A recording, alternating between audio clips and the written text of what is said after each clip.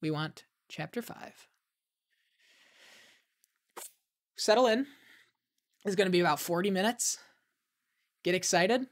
I'm happy you guys are all here. If it's your first time, buckle up. If you've been here before, oh, yeah, yeah, yeah, and they hooked up in the restaurant. If you've been here before, well, you know how it goes.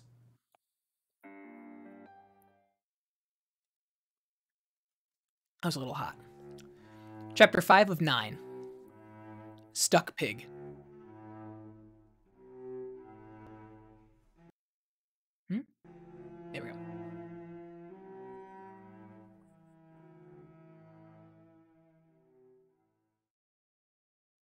The next day.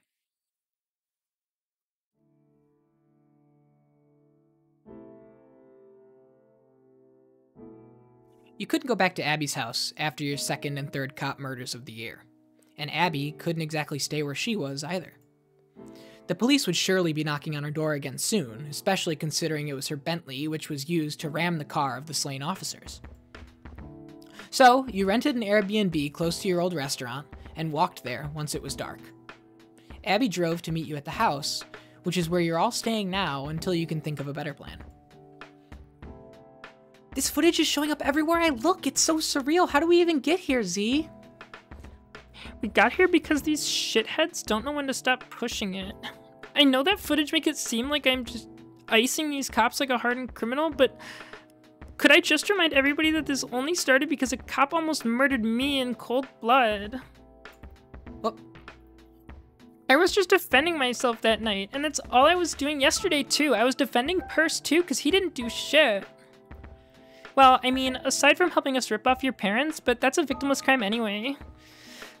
yeah, you're right. It's not even that you're wrong about any of that. It's just, God damn, we are in so much trouble now.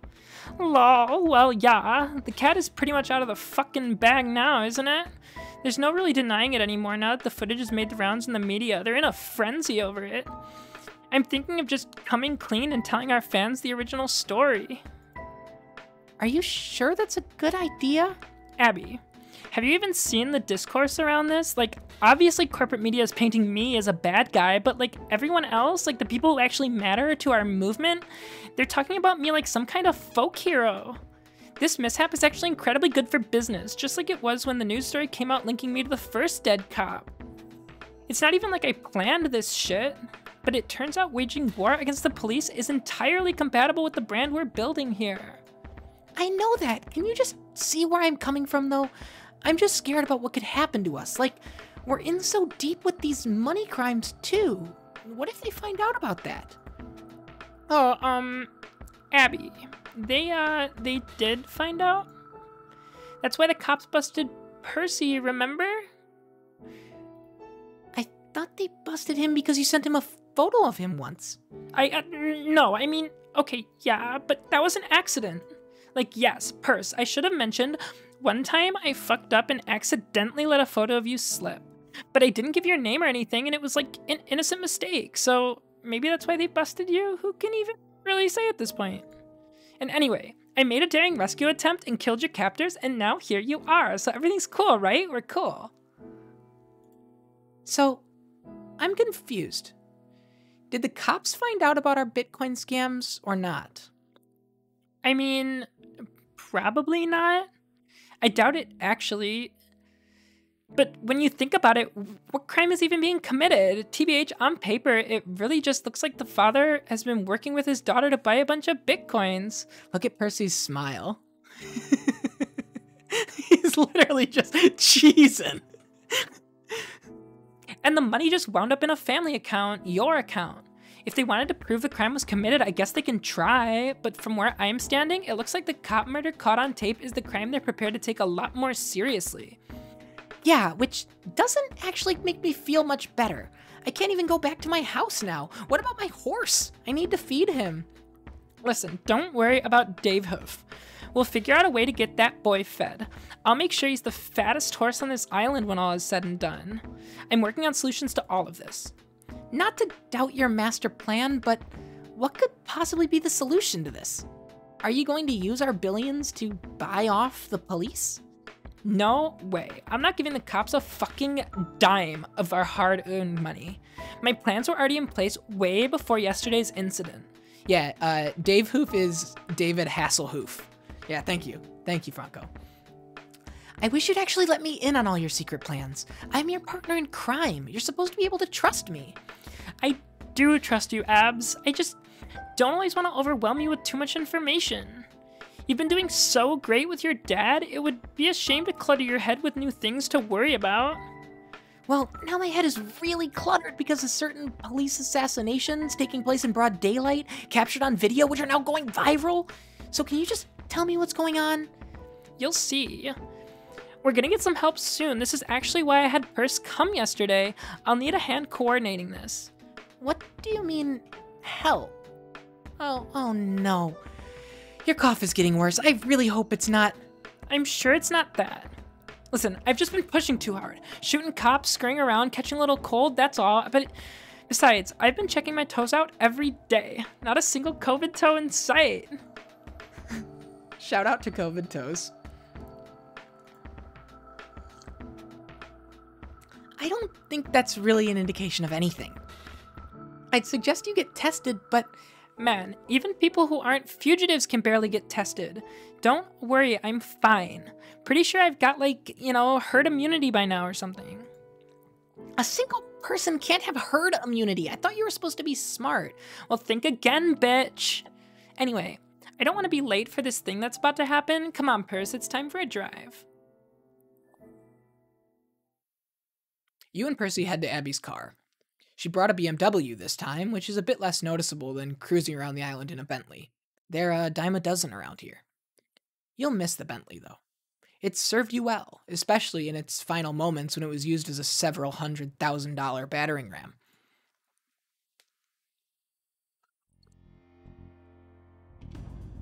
Percy has no idea where you're going. All he can do is glance at your phone sometimes, which you're holding for navigation purposes. You've set the destination for a place near Jackson Point, which is one of the westmost parts of the island. A place that can facilitate boating activity in a way that's much more discreet than anything going on by the docks near the downtown area. A few times, Percy attempts some small talk. You humor him, nodding along, occasionally turning your head to throw him a smile. Seems like he's skirting the topic of his feelings? Something like that. That's nice, Perce. You're super flattered and all, but it would behoove him to come to grips with the magnitude of what's about to take place on this island. In the not too distant future, some very loud noises may be assailing his ears, but they won't be coming from wedding bells.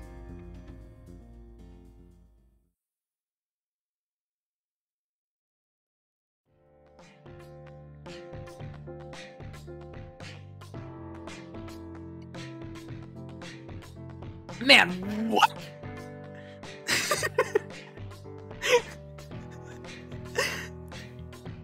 Clowns rise up.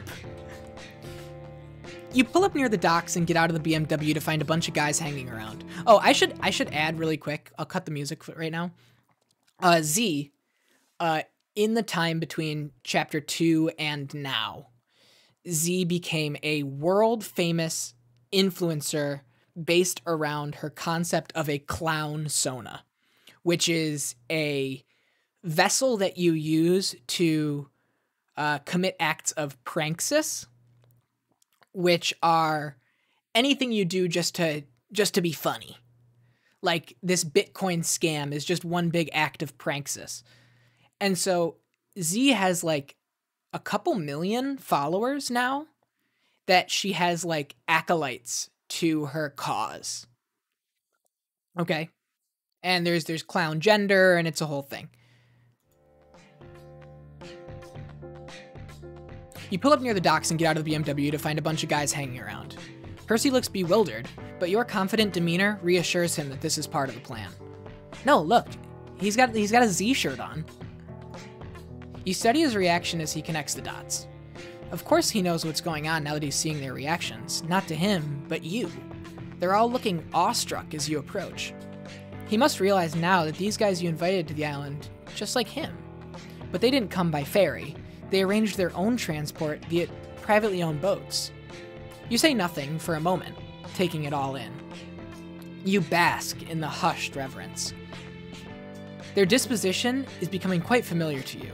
Just another bunch of simps for your collection. Nynx gets it. It's not murder if it's Pranksis. Ones with completely different utility than Percy, ones that aren't nearly as soft. You begin eyeing some of the hardware they brought. They came well equipped, just as instructed. These plans were in the works all week, and some of these boats took well over a day of sailing to get here. As you assess your new recruits, you can feel Percy fidgeting to your side. Clearly, he wants some answers. He's wondering why you didn't tell him about this earlier.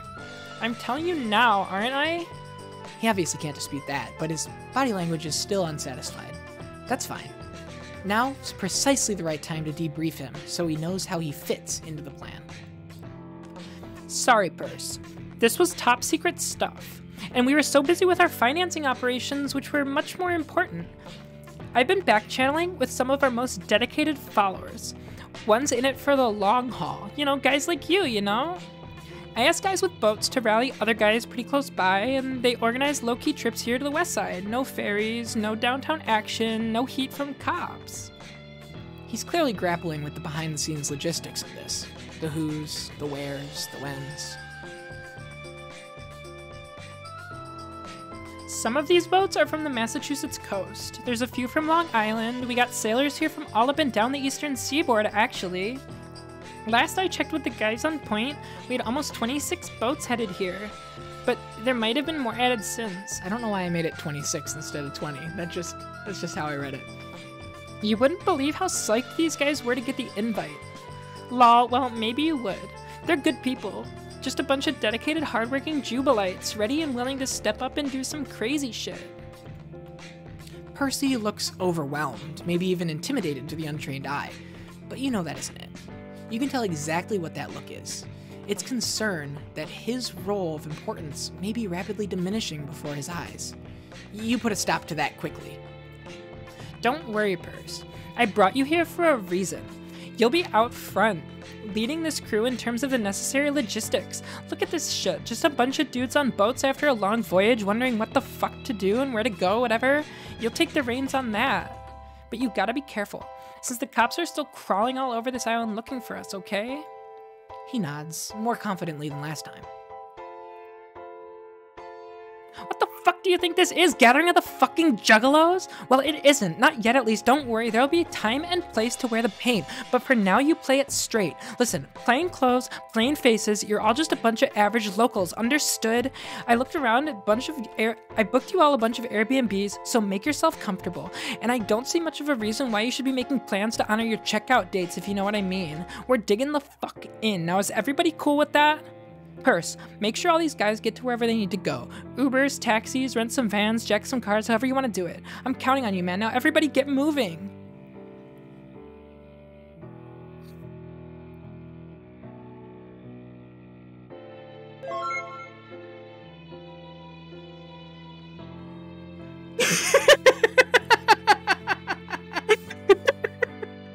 I couldn't think of a single person that that needs to be here for this more than Big Neek 65. How you doing, man? How are you doing? How is life?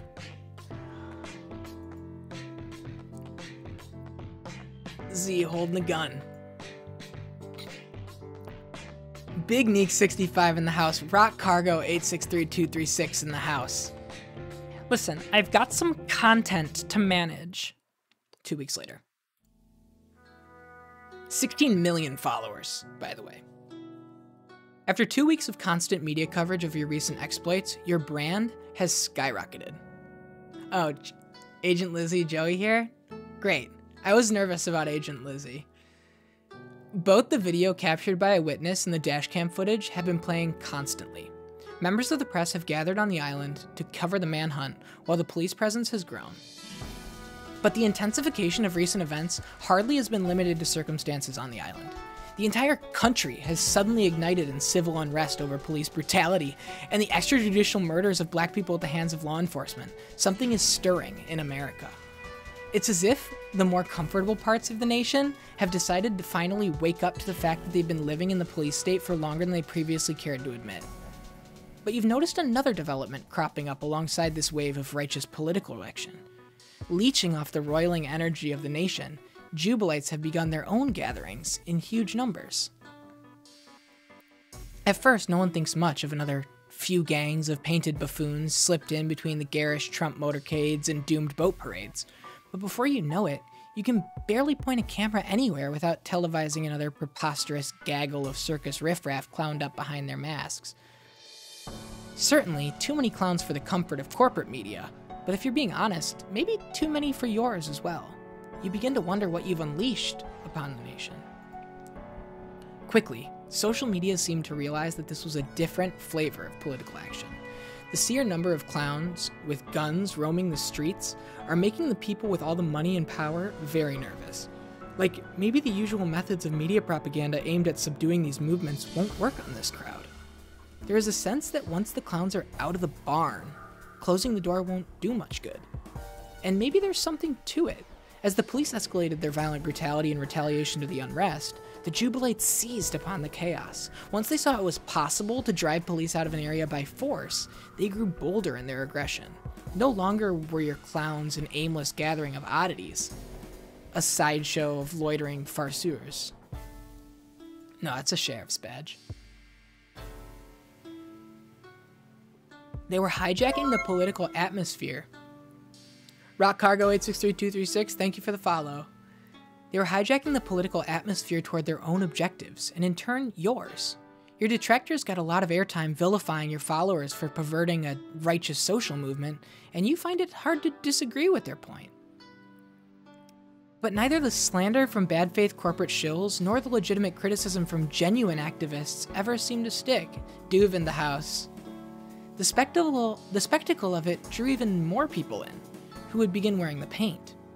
And the more painted faces showed up, the more your movement appeared to stake its claim as a force entirely distinct from the origins of the civil unrest.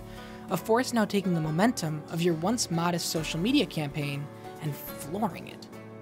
It now looks like police precincts everywhere may start falling like dominoes, and you see no reason to tell your people to take their huge floppy shoes off the gas pedal. But you can't put too much personal focus on what's happening around the country, because there's way too much happening locally that you need to deal with. You've been ordering your new recruits to take care of business here on the island while you're in forced hiding. You have a team dedicated to make sure that Abby's horse stays fed, for instance. With the help of Percy, an infrastructure of local Jubilite activity is beginning to emerge, which can operate somewhat autonomously from your direct supervision. Your, your inner circle directly overseeing this infrastructure has begun calling itself Ring 3. Being able to delegate important stuff is good news, considering your health has been in decline. After showing symptoms of COVID 19, you decided to self quarantine in the Airbnb. Abby and Percy rented another one across town while trying to stay out of view. You hold down the fort all by yourself.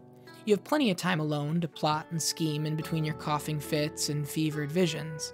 Admittedly, this is not the most fun you've had during your brand's rise to international notoriety. The carefree days of drinking expensive wine at Abby's house while in perfect health and bullshitting about gender are starting to feel like a distant memory. But the administrative needs of your movement don't take a break just because you get sick. The show must go on.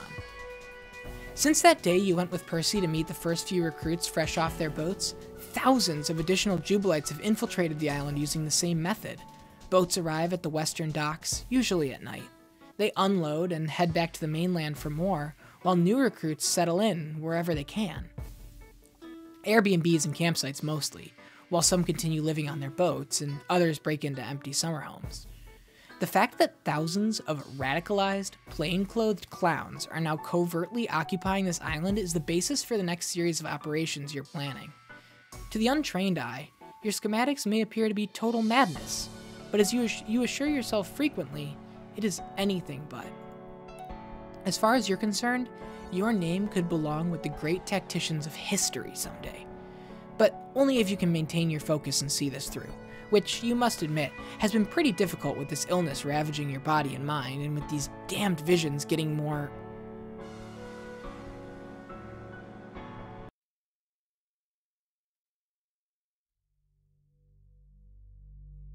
There she was again.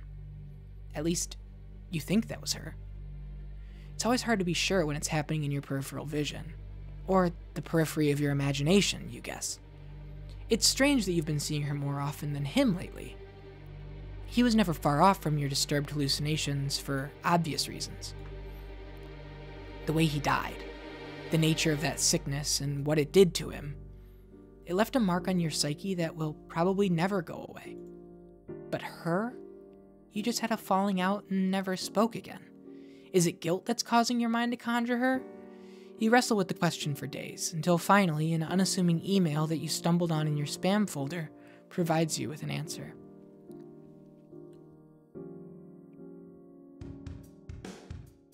Someone was trying to collect on a medical bill of some sort. It's an ambulance fee, actually. An ambulance that was used about two months ago. They're trying to collect the bill from you, but the person originally billed wasn't you. It was her. The fact that they're trying to collect from you instead of your mother must mean it couldn't be, could it? You do some more digging. You call the hospital where the ambulance dropped her off. After some time on hold, you confirm. It's not the fact that she's dead that blows your mind, it's the date April 20th. She caught COVID 19 in early April and died on 420, the day this lunacy all began. She's been dead for almost seven weeks, and you never even knew it. Aside from being stunned by the revelation, you feel nothing. You only ever had one bullet of grief in the chamber, and you used that when your dad died. You made the most of that bullet too. Used it to drive yourself insane, quit school, and run off to an island. If your dead mom is expecting any tears from you, well, she's shit out of luck. But you know she wouldn't be expecting anything of the sort. That's why she never called. Maybe she had different plans for you. Plans she didn't even know she had, or an impact on your life she didn't know she was causing. Perhaps it was the invocation of a dying curse from a bitter old woman, and that's what you've been contending with ever since the night she passed. You don't really associate the death of parents with grief or loss anymore. That was just another one of society's lies that these were things you were supposed to feel. Instead, you feel like their departure represents a burdensome torch that's being passed, an inheritance of sorts all the psychological baggage a parent accumulates within their, their whole life. And when they die, that lifetime of manic energy, the striving and struggling, the failures and disappointments, the things they wish they did, became but never did, all of it was has nowhere to go when the body dissolves, so it all flows right into you. That's how it was with your dad, watching him slip away slowly. The feeling of initial sadness for him gradually twisted into something that was nothing like sadness at all more like a screaming inside that gets louder every day. He watched his desperation grow as he knew the end was near. He was being devoured in his final days by that feeling that he wasn't given nearly enough time on Earth. He fell so far short of turning his life into the thing he once imagined it would be, and the result of staring into the abyss was utter panic. And where does all that panic go? Who feels the blame, the sense of accusation, the demented rage over the unfairness of it all? It was you. Your true inheritance is this tortured understanding, an implied contract since the day of your birth, that you will be all that remains of his legacy. That now it's up to you to bring meaning through familial continuity into a life he just went to painful lengths to make clear he barely even considered worth living himself. But you had no intention of honoring that inheritance. The contract was worthless, partly because you never agreed to it. But more importantly, you gained disturbing insight into its author in the process of watching him die. You didn't lose respect for him, it was somehow worse than that. You began to question his agency as a human being, and you questioned his humanity itself. As the sickness tore away at him, it took little bits of his mind along the way. Your father's intellect and personality were being dismantled in such an alarming ways, you began to wonder if you even knew what a human being was anymore. But you don't really wonder anymore you think you simply understand now. A person is a phenomenal illusion, carefully held together by healthy neurons, which, once disrupted, appear as a series of hellish algorithms firing the wrong way all the time for the express purpose of creating horror in all those who believed they loved him. They believed they loved him because they believed he was real, not merely a jumble of algorithmic insanity which just happened to be executing in a proper sequential order most of the time. In fact, is that what you are too? a bunch of psychopathic, inhuman algorithms firing, firing, firing, firing until you get everyone who joins your movement killed? Or if your algorithms aren't quite satisfied with that until you rip the country apart and get everyone killed? The coughing fits are heavier now, more frequent. You know this must be her influence. It makes no sense in any scientific way, but you can just feel it. Her ghostly hand closing around your throat. Your dad's curse was bestowing his existential insanity upon you. The burden of striving for the American dream, which cracked your brain and sent you running away for good. Your mom never forgave you for it, so her dying curse is this disease. The same one that claimed her, and you know how she thinks. Why shouldn't you have to suffer the same way she did? COVID 19 is highly contagious, but you wonder if anyone's yet realized it can be transmitted psychically by a vengeful spirit. It's probably time to just throw in the towel. Just stop all this running and hiding and turn yourself over to the cops before you can endanger anyone else. Sure, you'd disappoint a lot of people that way, millions who've become deeply invested in your defiance of this brutal, imperialistic police state. But the disappointment resulting from letting them all down would be a blessing at this point, relative to the scale of damage that the misfires of your algorithmic insanity could be truly capable of. Or maybe you don't even need to turn yourself in. Maybe the fact that your mom is trying to kill you here and now is her final act of mercy for you and everyone else. Maybe it'll just knock you off before you can even get the chance to realize your full destructive potential. Go ahead, you you bitch. This is what you wanted, isn't it, Mom? so go ahead and fucking drag me into the fucking grave with you already. Ding dong. You hear the doorbell ring. Now, who the fuck could that be? Oh, it's Percy. He's just dropping off your supplies for the day. You really need to calm down. This disease has obviously been making you paranoid. There's clearly nothing to worry about. Purse? Were you followed? No, don't look, fool. Oh, shit. Get in here quick. Fuck. Yeah, they were tailing you. Look at this shit. We're fucking surrounded. It must be the entire precinct out here. Purse, you can't be this sloppy. You fucked it all up. Okay, I'm sorry. This isn't your fault. I probably should have been had a different guy bringing me shit. You were already on their radar. Damn. I just keep pulling you deeper into hot water, don't I? Well, don't worry. I'll get you out of this shit. I'll get us both out.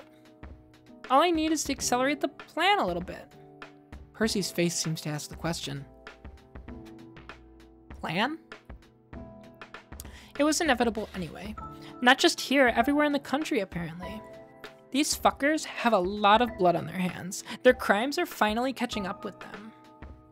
She's sending a skull emoji and a cop emoji to the Ring 3 group chat.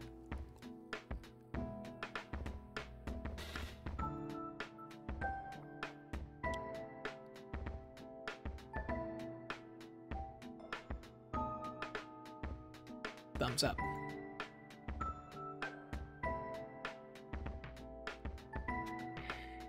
Percy did used to speak. Remember, he had a different voice in chapter 1 than he did in chapter 3.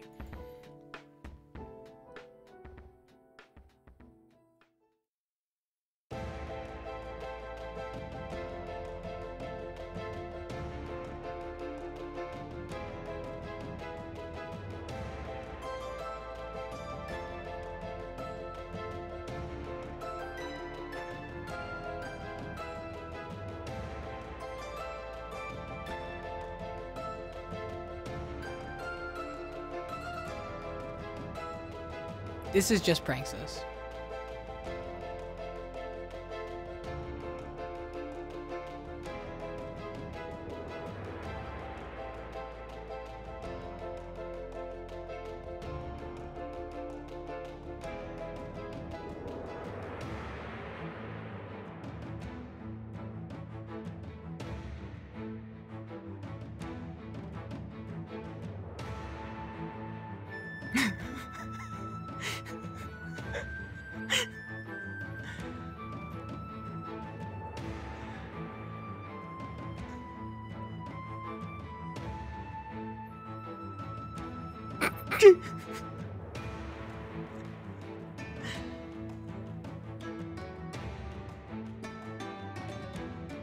Yeah, this has gone off the rails. This is like off the rails in like a like if it was at an 100 before, it's at like a 600 now. I feel like they could have ramped this up a little better.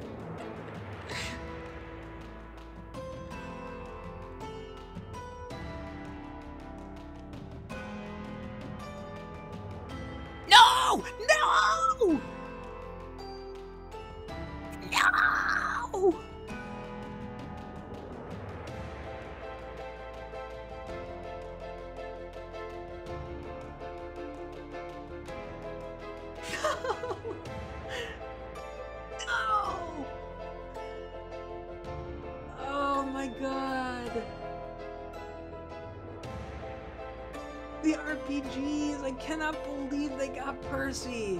Yo, yo, yo, yo, yo, yo.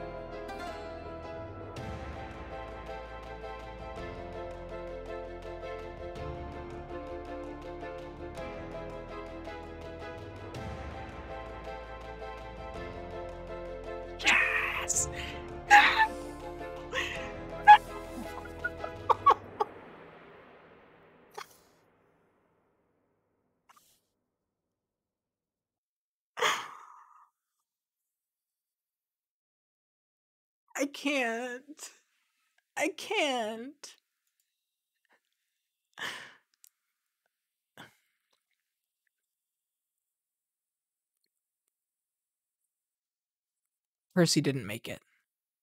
But there's no time for tears.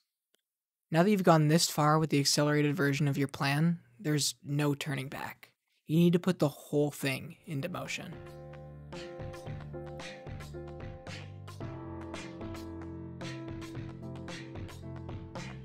What's that one?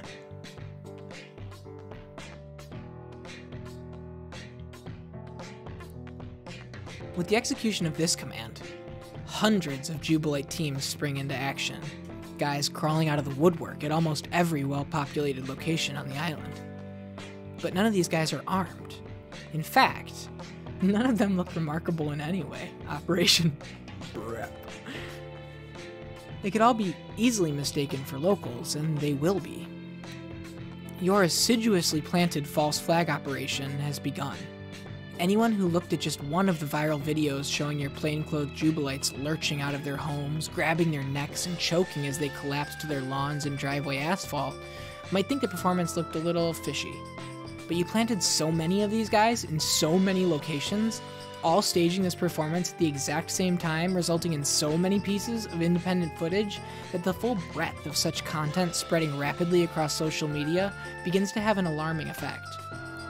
You have guys harvesting all the footage coming in, searching out the best stuff, the most gripping, scariest portrayals of an invisible airborne agent cutting down the locals of Nantucket Island right outside their homes, and releasing the content strategically to optimize the proliferated shock.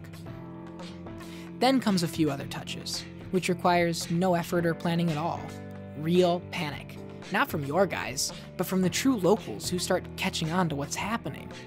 Actual people screaming in the backgrounds of your footage near the pretend bodies, running away, getting into cars, peeling down residential roads. The panic isn't just good for optics, it's the entire purpose of this charade. Nobody gets hurt, they all just get out. The panic begins to trick begins with a trickle, but once the media starts running the footage, it turns into a flood. Creating a stampede of people trying to leave the island all at once ordinarily would be irresponsible, you think. It would be if you didn't have a transportation plan ready to go, which, of course, you do. If there's one thing you and your simp army isn't short on, it's boats. All the boats that brought them here, plus a whole lot more which were idle in the ports waiting to be repurposed, are at the ready for the surge of frightened locals. Your teams take charge, yelling at the crowds which way to go. They load, cast off, and when they drop them off at the mainland, the empty boats will just turn around and head back for more. The whole fleet will keep at it all night long if needed, until the island holds no one who wants to leave. As chaos swirls around the media in response to this attack, there are real questions about what actually happened, even as everyone flees in desperation just to be safe. Questions about who was responsible for the attack, whether it was even real, and why approximately 40 police officers were slaughtered in a shootout just as the attack began. And the talking heads of corporate media will surely spin, as they always do. But this is a narrative for you to control, not through your dispatch teams, false flags, or leaked footage. As the leader of the Jubilite movement, this is something you need to address personally. It's not Im- it's too important to let it wait. You fight through the pain of your gunshot wound and the shortness of breath caused by the violence and begin streaming to your fans right away. You announce to the world that federal authorities appear to have deployed a vicious biochemical attack intended to target you and the members of your movement, which have been organizing on this island. They've seen how dangerous the Jubilites have been to the stability of state and corporate power, and they decided to crush the opposition at its source. But you and your most loyal survi- supporters survived, retreating into shelters until the attack subsides. You go on to urge any civilians who haven't yet evacuated to leave for their own safety. You seize upon the moment to swear vengeance on the state which committed this atrocity, to continue escalating the many means, many pockets of insurgency already boiling over across the country. No reason to waste an opportunity to continue taking the fight to them. Over the last week of riots, you've seen state power bleed, and as long as there's blood in the water, you might as well release your sharks. Fighting for air makes the transmission difficult. At first, you curse your luck again, wondering if it's even possible to have contracted this disease at a worse time. But as you desperately cough out your angry statement to the world, you'll realize it's a nice touch. It helps sell the idea that you just survived a biochemical attack.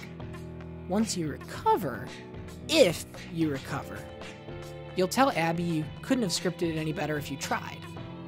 But you can't call her to brag about the bleeding of the stuck pig that is the United States of America just yet, because there's your own bleeding to attend to. and that of the fallen comrades.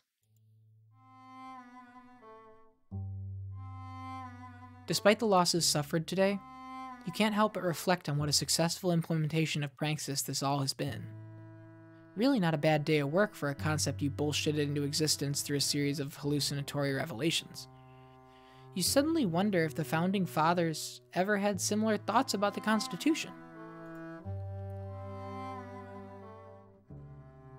None of the material that was. None of the material was anywhere near as fun as cool as yours, though. Still, whatever moves they made or words they wrote, you guess it was strong enough to earn them all several centuries of retroactive dick sucking in the history books. Even Washington's lowliest of simps probably got their own due. And yours will too.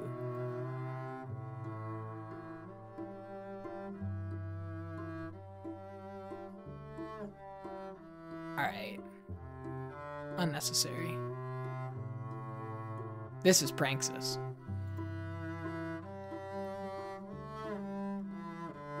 Rest in peace, loyal simp.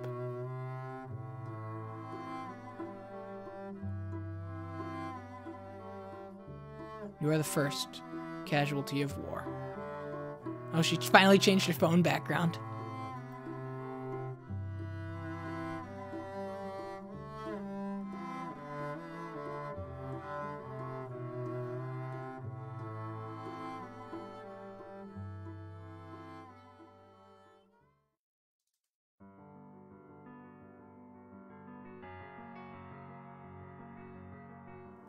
Ladies and gentlemen, was the end of chapter 5. We're only halfway through this thing.